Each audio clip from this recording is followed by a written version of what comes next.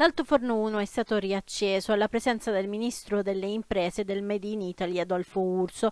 Non una celebrazione l'ha definita il commissario straordinario di Acciaierie d'Italia Giancarlo Quaranta, ma una ripresa della normalità. Un primo passo, aggiunto, necessario che porterà alla decarbonizzazione e all'implementazione dei forni elettrici grazie ad ingenti investimenti. Un percorso che secondo il ministro sarebbe stato condiviso con le istituzioni e le parti sociali perché qui in fabbrica ci si confronta, e concordare con loro e con le autorità locali il percorso che prevedeva anche necessariamente questa tappa, come ben sa la Commissione europea che ci ha autorizzato al prestito ponte Secondo quanto dichiarato da Urso, il governo non terrà per sé quote, come è accaduto nelle amministrazioni straordinarie precedenti, ma potrà richiedere la Golden Power. Questo esercizio della Golden Power viene esercitato e in quel caso noi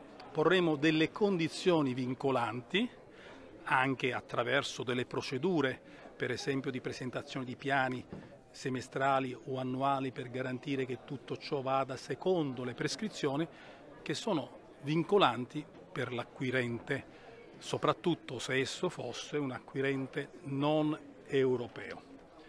Questa garanzia data dalla Golden Power è molto più cogente di qualunque contratto e blinda il processo. Per Urso a Taranto il governo ha rispettato le procedure, ha avviato i ristori per le imprese dell'indotto, trovato un accordo con i sindacati per la cassa integrazione, fatto i lavori di manutenzione degli impianti per garantire la sicurezza dei lavoratori, oltre all'avvio della gara internazionale a cui hanno preso parte player intercontinentali. Eppure c'è chi non la pensa così. All'esterno dello stabilimento non sono mancate le proteste di associazioni ambientaliste, comitati e liberi cittadini. Per Valentina Occhinegro, vicepresidente di Giustizia per Taranto, non ci sono grandi aspettative. È vergognoso e offensivo che un ministro della Repubblica Italiana stia qui oggi per ehm, diciamo, festeggiare la riaccensione di un altoforno a carbone. È una cosa che nel 2024 per la città di Taranto, per quello che ha subito, per tutto quello quello che continuiamo a subire è assurdo. E poi c'è Stefano Sibilla, segretario generale dei lavoratori metalmeccanici organizzati,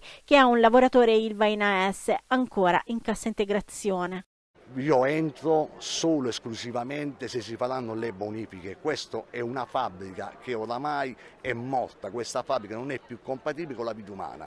Qui oggi viene un ministro dove qua non ci sono i lavori AIA, non sono stati fatti. Che garanzia ha questa fabbrica per tutti i lavoratori o per l'intero territorio fra salute e occupazione?